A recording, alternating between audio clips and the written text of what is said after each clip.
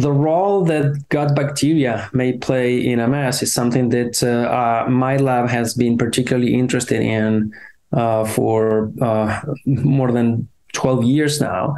And the reason, in part, was because of our, our work in genetics. Uh, we recognized that, uh, um, again, the, there were there must be environmental factors that complement uh, this genetic susceptibility.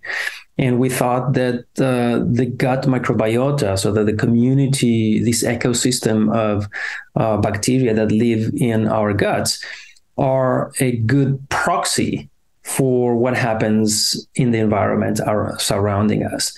So if we uh, change our diet, if we move from one place to another, if we live near uh, oil refinery versus if we live in the countryside, all those uh, uh, changes in environments are likely going to be reflected in changes in our gut microbiota because our bacteria uh, respond uh, almost immediately to what's happening in the environment. So we thought that it will be a good window into the environment, and we can study the composition of gut bacteria in a good, uh, reproducible, uh, and quantitative manner.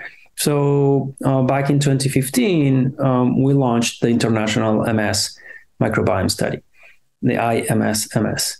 And the goal of the IMS-MS was to, um, again, in a consortium-like fashion, gather uh, a large number of participants that we could uh, establish a reference for the rest of the field to um, establish whether there's a correlation first between uh, bacterial uh, taxa and MS, and second, try to understand what the function of those uh, um, um, correlations uh, might be.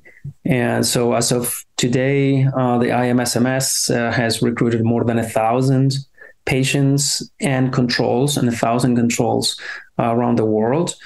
And um, we recently published uh, a paper in the journal Cell showing the analysis of the first 500 uh, of them.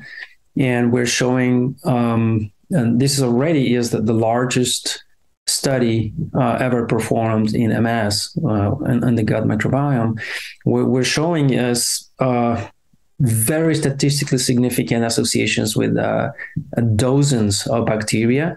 Some of them are overrepresented among MS patients, some of them are underrepresented.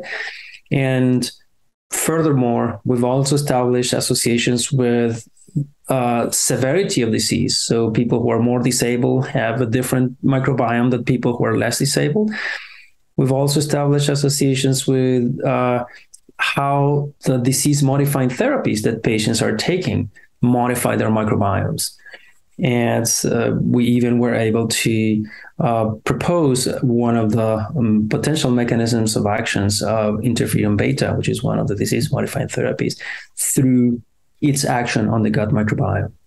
Uh, so this is the tip of the iceberg. Uh, we know that this is a descriptive uh, study, but descriptive studies are the the cornerstone of functional studies that should come later. And now the consortium is uh, committed to continue uh, uh, growing its its its base population, but also starting performing functional studies that can uh, shed light on how are these bacteria modifying our risk for MS.